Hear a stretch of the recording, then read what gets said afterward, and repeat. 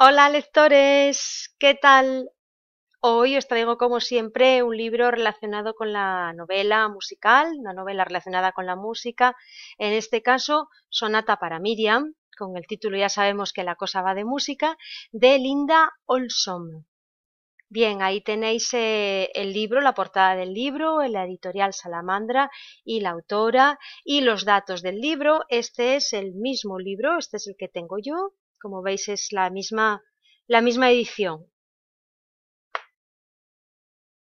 Bien, el argumento. Eh, hablamos de Adam, Adam Anker, que es un violinista y compositor que está traumatizado por el dolor de haber perdido a su hija, a su única hija llamada Miriam. Eh, las referencias al dolor de, este padre que ha perdido a su hija son constantes en la novela.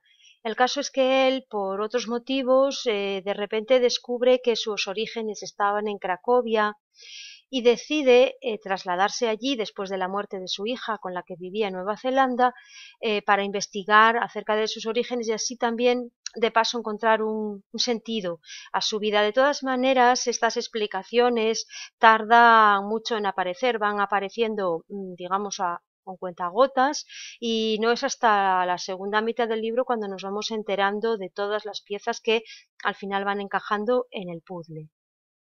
Es una novela introspectiva en el sentido de que es una novela mm, en la que el autor, eh, aparte de reflexionar constantemente acerca del dolor que sufre por la pérdida de su hija, también se pregunta muchas cosas acerca de su vida, también habla mucho de la madre de la niña con la que tuvo una relación que se rompió bruscamente, en fin, es una novela de mucha reflexión y en ese sentido, a mí personalmente me recuerda alguna de las novelas de Sandor Maray.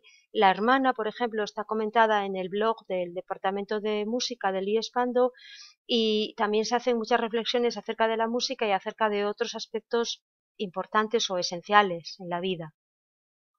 Bien, la música. ¿Por qué hablamos de la música en esta novela? Pues porque él es, ya digo, violinista, compositor y porque em, descubre algunas otras cuestiones eh, acerca de su vida en relación con la música, descubre quién es su padre y que su padre también era violinista. A lo largo de la novela me refiero sobre todo, ya digo, en la segunda parte. Eh, mm, y luego también porque eh, una de las cosas que hace es componer precisamente una sonata para su hija fallecida que se titula así, que es la que da título a la novela, Sonata para Miriam. Y las referencias musicales aparecen a lo largo de toda la novela y están entrelazadas con sus reflexiones personales y con sus descubrimientos en la vida, con el descubrimiento de quién era, quién habían sido sus padres, etc.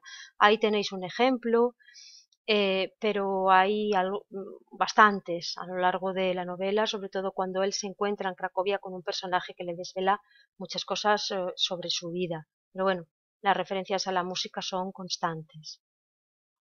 Y nada más, eh, animaos a leer esta novela, si queréis leer una novela en este estilo, ya sabéis.